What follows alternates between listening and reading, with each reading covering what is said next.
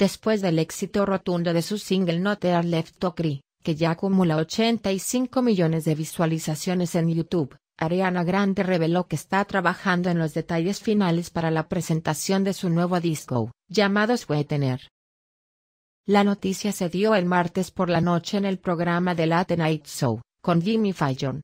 Sin embargo, el título elegido no es tan dulce como parece, habla sobre alguien que te miente para endulzar tus problemas.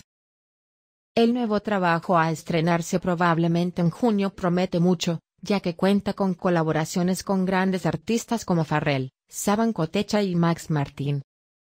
Además, ansiosa por contar todo, Ariana reveló algunos de los nombres de las canciones, Raindrop, la que abrirá el disco, The Light is Coming y Goda Omen.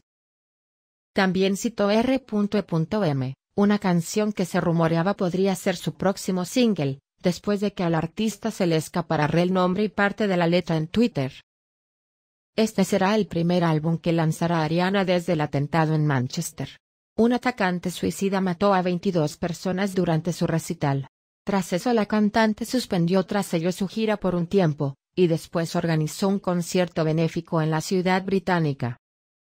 Fallon recordó el triste episodio, y agradeció su gesto, gracias por ser tan fuerte, por entretener a la gente, por dar un concierto benéfico. Fue fantástico de tu parte. Durante el programa, la artista participó en un desafío musical con el famoso presentador, en el que ambos tenían que cantar éxitos conocidos, pero en un estilo totalmente alejado del original. Mientras Jimmy cantaba Shape of You en versión ska, Ariana tenía que hacer Humble, de Kendrick Lamar en estilo goth rock.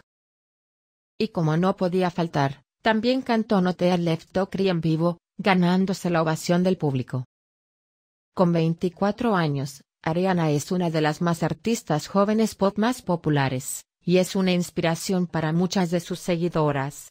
Con 118 millones de seguidores en Instagram, la cantante fue elegida para abrir los Billboard Music Awards, este domingo 20 de mayo.